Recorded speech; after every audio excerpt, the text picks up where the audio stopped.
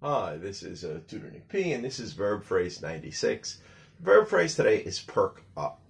Okay, let's take a look at the note here. Uh, we have two meanings. Uh, if someone or something perks up, uh, it becomes more lively, energetic, or attentive. Attentive, you know, more alert.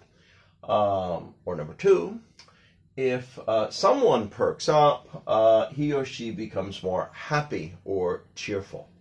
Okay, let's look at a couple of examples here. Uh, example number one.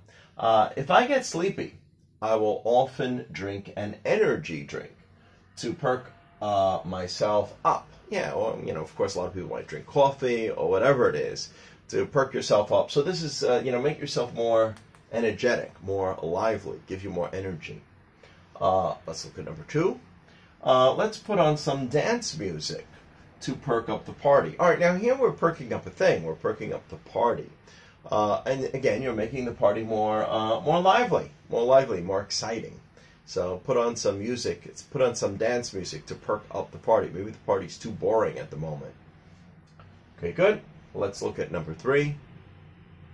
I bought her a gift to perk up her mood. Uh, she has been so down. Down means, you know, sad. If somebody is down, they're feeling sad uh, lately because she broke up with her boyfriend.